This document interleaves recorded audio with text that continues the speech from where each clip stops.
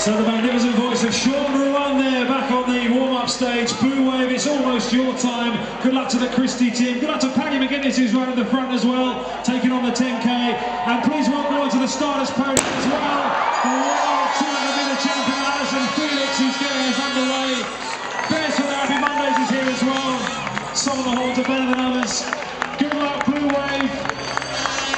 This is your time. You've been training for weeks. And now is the moment. It's your Bupa Great Manchester Run for 2010. Over 10 kilometres.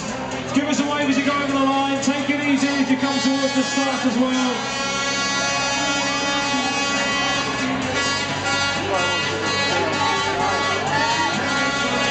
We've got Kes on the right-hand side of the road. We've got the world 200 metre champion Allyson Felix, who's on the left-hand side of the road.